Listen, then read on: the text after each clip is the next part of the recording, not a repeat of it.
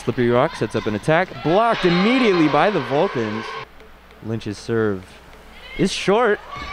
Slippery Rock unable to adapt. That'll be another ace for Kelly Lynch here. Lynch's serve a little short again. And that is a huge mistake for the Rock. Nice dig by Kelly Lynch. They'll go to the outside. And that'll be a Vulcan point to close out the first set. Serve is good. Vulcan set up Sarah Moehring for the attack. And what a heater that was. Lynch will dig that one. They'll set up uh, Caleb Berkey over here. He'll bounce off defender's hand to go out of bounds. That'll be a point. They'll dig it.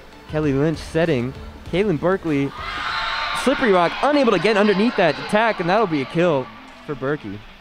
The Chendro serve for the Rock is good.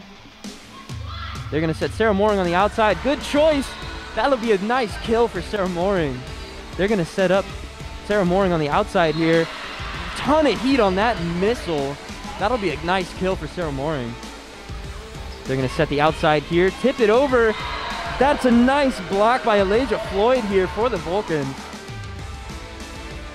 Another block, but Rock able to keep it up this time. They're going to set the other side. Another block, unable to keep it up this time.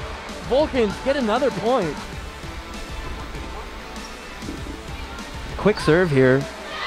Rock unable to adapt to it. That's a Vulcan point and the service ace.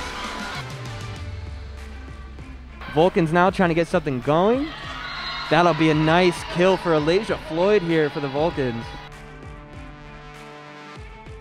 And they'll set Moehring again, this time unable to keep it up. Fantastic play for Sarah Moehring and a nice kill.